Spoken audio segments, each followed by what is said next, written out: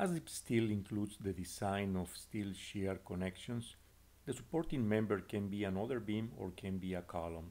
The column can be a wide flange member or can be an HSS member. If the column is an HSS, what are the limit states that are applicable in this kind of design?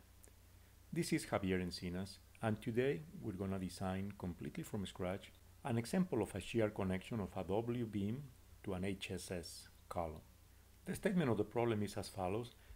The beam reactions are dead load 15 kips, live load 15 kips. The beam is a W14 by 26 and the column is HSS 10 by 10 by 5 sixteenths. The goal is to design the connection and produce all the calculations for these limit states. Let's get started. When we open ASDIP Steel, we see the project manager. Here we can see the modules included in the package, base plate and anchorage, steel columns, steel and composite beams, shear connections, moment connections, and web openings. In this example, we're going to create a calculation for a shear connection. Let's click on this button. Let's call this calculation as example. Add. And the calculation has been added to the tree.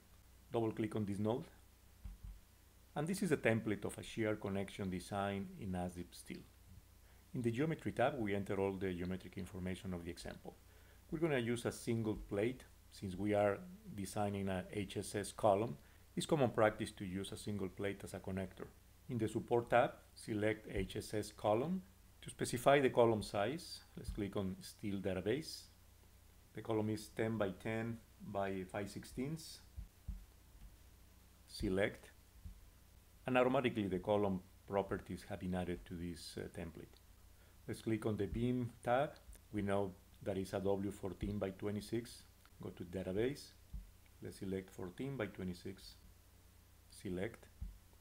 And the beam has been added to the template. If we click on the graph tab, we can see graphically what we are doing. So this is a W14 by 26 and the support member is a HSS 10 by 10 by 5 16. Let's click on the plate tab here we specify the dimensions of the plate. Uh, the plate width, 4 inches is usually enough for the purpose of the connection. And the connection is going to be bolted to the beam. Could be welded if we decided to do that, like that. Plate thickness, let's say that is 3 8 which is also typical for this kind of connections. Let's go to the materials tab to enter the material properties. For the support, it's an HSS, so the FY is 46 KSI. For the beam, FY is 50. For plate, say that is 50 as well. FU 65. For bolts, let's use 3 quarters of an inch bolts, A325. And for weld, let's use quarter of an inch fillet weld. If we click on the loads tab, here we enter the loads given in the statement of the problem. We know that the dead load is 15 kips and live load is also 15 kips. And basically we have completed all the information given in the statement of the problem. Now we need to design the connection based on this information. Let's click on the at a glance tab. This is a summary of the calculations. Here we can see some deficiencies. For example, the bolt shear rupture is failing because the load combination of the applied load 1.2 dead plus 1.6 live is 42 kips and we are providing only 33. If we click on the condensed tab we can see a more detailed set of calculations in this table. Here are all the limit states. This is the controlling limit state, which is bolt shear rupture. And these are the failing load combinations. Since the bolt shear rupture is failing, that indicates that we need more bolts. Since we have enough room for another bolt, let's add one more bolt. Let's go back to geometry tab, bolts. Instead of three rows, let's say four rows. And then this one more bolt has been added to the connection. There's a problem here because the shear plate is touching the beam flange and the program is reporting this as a geometric constraint check and it's not good. So let's go to the condensed tab. Now with this additional bolt, the capacity has increased to 52 kips and is more than 42. So now the capacity is passing, but we need to fix the issue of the geometric constraints. So the connector length is failing. Let's go to the geometry tab again, plate. So right now the plate has a one inch eccentricity, which is this one inch here. We need to reduce that to zero, so that is center to the beam, like that. So the problem has been solved, and the program is reporting that as okay. Go to the condensed tab again. Here we can see the final design. Basically, this is the controlling limit states, bolt shear rupture.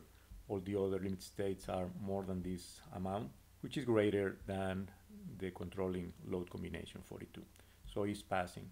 The ratio is 0.80 and the design strength is 52.4 kips. There are some design checks by code. The minimum plate thickness is the ratio is 0.83. Minimum plate weld size ratio is 0.94.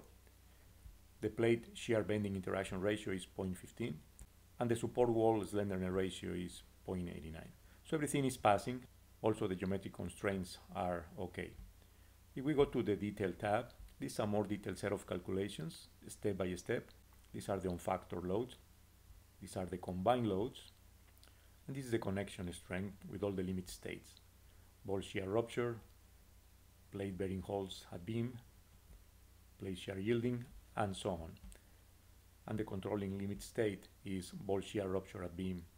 The nominal strength is 68.8 kip. If you are affected by phi, this is the design strength, 52.4. These are the design checks, minimum plate thickness, and so on. And these are the geometric constraints. Everything is passing. Graphically, we can see the connection. From view, this is the shear plate bolted to the beam with four bolts and welded to the column with quarter of an inch fillet weld both sides. Finally, in top view, here we can see the HSS column and here the W-beam connected by the shear plate. Let's see what happens if instead of a single plate we use a single angle like this. We can see here immediately that there's a geometric constraint check deficiency. It's basically that the uh, angle is too wide so there's no room for, uh, for the welding. But it's preferable usually to use a shear plate instead. What happens if we increase the load substantially? For example, if instead of 15, let's say 30 kips live and say 30 kips dead. Let's go to at a glance. Now there are multiple deficiencies because the, the load now is 84 kips and we are just providing 52. So we need more, more bolts again and also it's failing in beam bearing at bolt holes. So in this case, since we cannot increase the number of bolts, we need to increase the diameter of bolts. Maybe we can use one inch diameter bolts. Now this limit state is fixed, but this limit state is controlling now. Plate shear rupture. We need to increase the thickness of the plate. Let's go to the geometry tab. Plate. Instead of 3 eighths, let's say half an inch. And now it's fixed. Since we increase the thickness of the plate, now the welding is failing to the minimum requirements. We need to increase the size of the weld. Let's go to the materials tab, then weld. Instead of quarter of an inch, let's say 5 sixteenths. And now it's passing. So everything is passing now in this design. Please note that the program also includes a through plate connection alternative. In some cases, it is necessary when, when we need to increase the capacity substantially. In this case, it's not necessary. As you can see, it's very easy to design shear connections to HSS columns using ASDIP steel. The design can be completed and optimized in a matter of minutes, but otherwise, if you try to do it by hand, could take probably hours. If you like the software, please visit the website www.asdipsoft.com and download the free 15-day trial. Please subscribe to the channel if you want to receive notifications in the future for similar videos. Thank you for your attention.